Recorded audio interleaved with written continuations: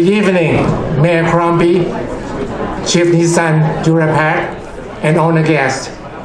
It is with great joy that I welcome you to this banquet. Tonight, we honor an individual who does outstanding community work as a police officer. I also like to give thanks to our municipal government and pay tribute to our Peel Regional Police.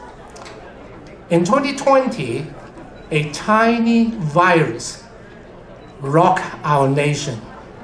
Mississauga was not spared. At the darkest moment, all restaurants were closed. There was no dine-in, take-out orders only. Our Mayor Crombie was busy going around breathe new life to small businesses. She was right here in this restaurant, helping Emerald to survive. That was on February 19, 2020. As for our police chief Nish, he conducted a special virtual presentation on October 7, 2021 with MCBA. He spoke directly to all our business community, giving them hope and inspiration. He was very convincing and very reassuring. We thank you for that. Both leaders were there for us when we needed them the most. COVID-19 was vicious. It killed. It ruined businesses. It wiped out our fortune. It destroyed life. It brought us misery. It took away our future. Now, two and a half years later, the business community is still hurting. They have not yet fully recovered. This makes putting up CCAD at Mississauga Celebration Square a challenge this year. It costs us over $20,000 just to showcase the event. Other event organizers are also feeling the same pinch. But Mississauga MCBA will not shy away from any responsibility. With ingenuity and maximum effort, our team will put up the best CCAD ever on September 24th. Please come. CCAD is an important to Mississauga. It promotes business, it creates excitement, it blends all cultures together, it nurtures the family and people of all ages. It is entertainment at its best. CCAD is a unique Mississauga experience. We are very grateful for the strong showing of the government and the police tonight, especially the Police Service Board. Thank you. However, with so much uncertainty in the economy, bold action would be needed. And we run, when, especially when we run out of miracles, MCBA will be there to meet the challenges. And we look forward to the mayor and the chief partnering with us to make Mississauga truly a city for all people. Together, we will be triumphant. Thank you and have a great evening.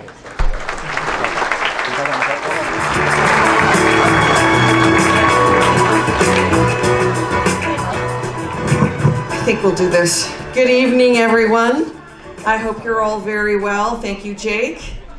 Thank you to MCBA for now hosting this dinner in 19 years. Uh, notwithstanding the break we had over COVID, is certainly nice to get everyone together in the room once again, but I caution you to please continue to be careful.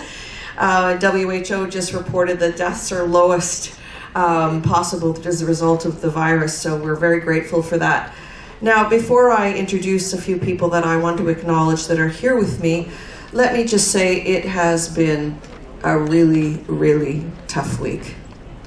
You know, let's thank all of our frontline responders, particularly Peel Regional Police, our paramedics, our fire and emergency services for responding as bravely as they do each and every single day. They put their lives on the line for us each and every day. But this week, unfortunately, it began in Mississauga. There was a senseless act, a senseless attack on an individual who is a fellow comrade, who's Constable Andrew Hong, over in a, a business in the northwest end of town that resulted in his passing. This is a time to remember the individuals that were taken from us, and we'll learn more and more about the details of what happened later. But now let's just keep them in our, our memories. I know that I know that you all join me in mourning, in grieving, and sending our love and affection to their families who are facing an enormous loss right now. Fathers who are not coming home to their wives and their children, men who were husbands, fathers, sons, incredible people who are part of their teams. When I think about what was written about Constable Andrew Hong, what an incredible man he was, so friendly and loved by all his uh, all his team. And then today, I had the opportunity to attend the funeral of Shakeel Ashraf, the Milton man who owned the auto body shop, who you may or may not know, started his career here in Mississauga, grew up here, and then moved out to Milton when he had a family. Another individual who was lighthearted, fun, funny, dedicated his life to his community, to his family, gave back to the community, was known as a very, very talented uh, cricketer on the cricket pitch, and in fact played against Peel police many times. So these are two individuals this week that lost their lives very close by. And then this morning we suffered another loss with Constable Gillespie on his way to work. So it has been a devastating week for all of us. Nobody's quite themselves, but we do have to remember these individuals and thank them for the for putting their lives on the line, and, and of course to uh, Shakeel Ashraf for being the outstanding person he was today. So I don't want to dampen all your spirits. We, we have to mourn them, but we want to thank. Thank Peel Regional Police, thank our paramedics, thank fire and emergency services. Uh, I think it was the fire department who arrived first on the scene. I think where's uh, Chief Rizzi is here. Doesn't matter. They all work together, and we had the unfortunate opportunity to pay our respects at the scene of the crime yesterday with Chief Rizzi. We dimmed our clock tower. We lowered the flags. I know Chief Duraiappah has been out building morale with his folks, and uh, many of them are traumatized, and he probably will speak to that, and I thank him for what he's done. But it's been a tough week, but notwithstanding these isolated and random incidents, we are still a healthy city. We are still one of the safest cities in Canada, but we're also a big city and we are suffering, and people are suffering as you see throughout COVID and we'll learn more about this shooter and why he may have done it and you know what what what drove him to later but let's let's remember the individuals who were taken from us this week and celebrate their lives while we're here and let me thank MCBA for always being on the front line as well to celebrate policing to work with our frontline workers frontline police officers our team and always being there for the community. You do such great work in our community. And we, I wanted to come and thank you, not just with the Crime Prevention Day and the policing dinner, so much great work in the community, raising money wherever we need you. So thank you. I'm sorry to be a, a little bit more somber in my remarks today, but obviously this has uh, touched us greatly, and it's quite a devastating loss to the communities involved. So thank you for having me. Thank you right back.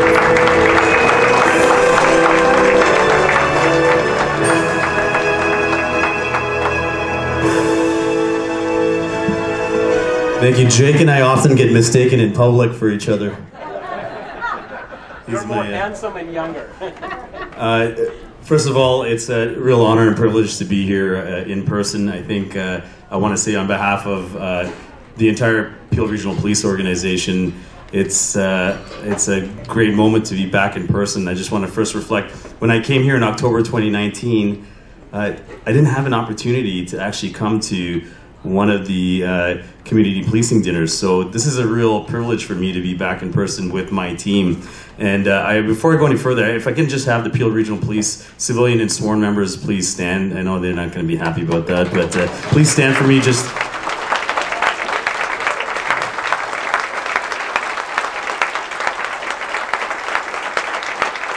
Thank you, everybody. There's been a lot of acknowledgement of the chief. Thank you. You can uh, have a seat. Thank you. But to be honest, I'm the steward of some amazing civilian and, and uniform members of this organization. I'm just a steward for a period of time to help, uh, you know, point them in a direction that it aligns to what's important to us here in Peel. And so uh, I first want to recognize that uh, tonight when we, I'll get on to talking about community policing and the importance of that particularly about the Community Crime Prevention Awareness Day. But uh, in reflection for today, you know, I think all of us in the police community and the broader community are are grieving. Uh, without a doubt, uh, that is uh, there's so many questions yet to be answered. Uh, not just today. We know Constable uh, Andrew Wong was of Korean de- descent.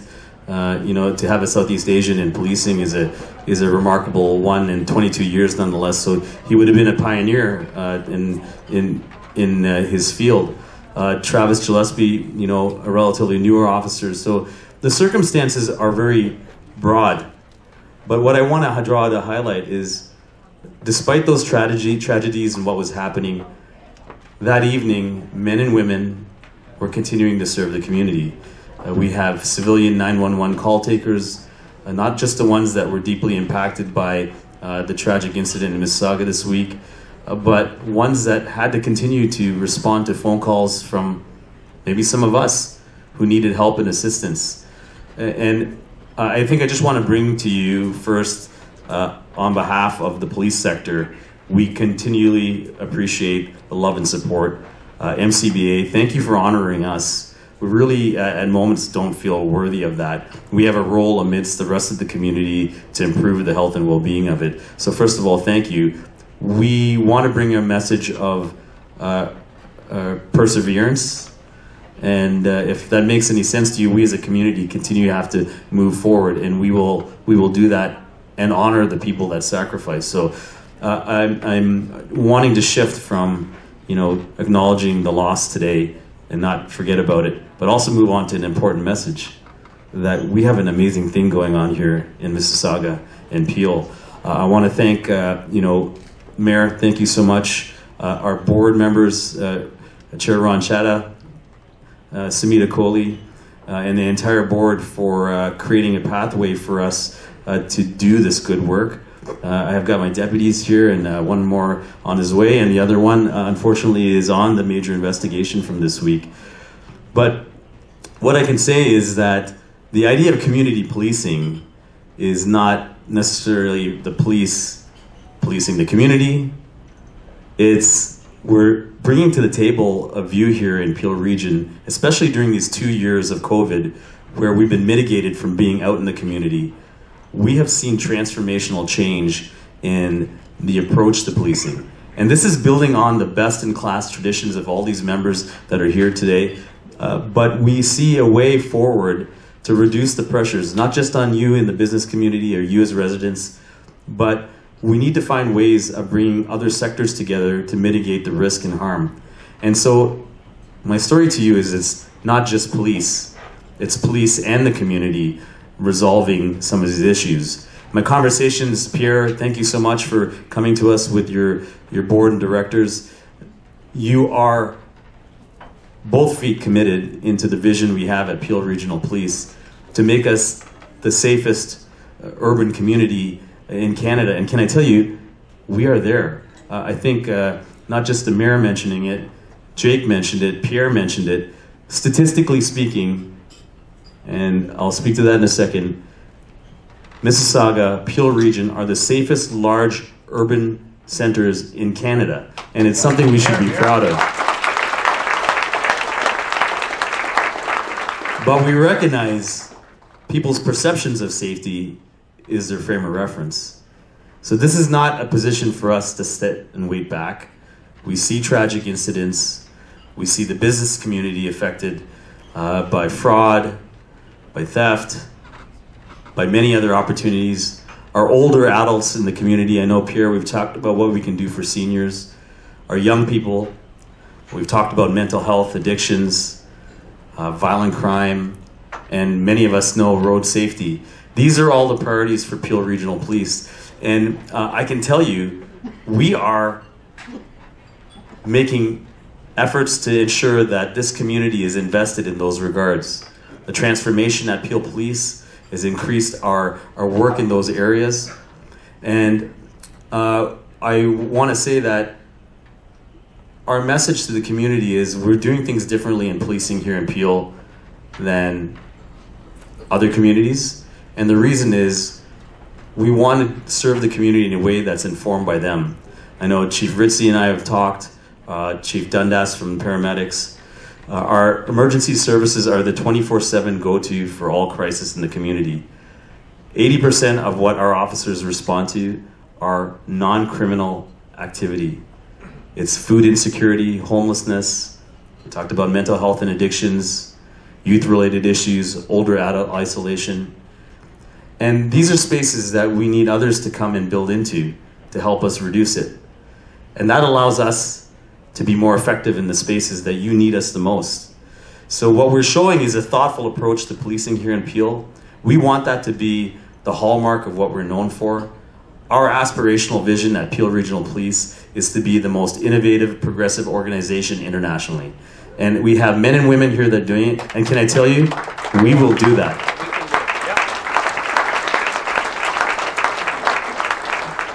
My people are going to roll their eyes, but we'd be remiss to talk about some of uh, the reason we're named after Sir Robert Peel, who is seen as the founder of policing in the Commonwealth world.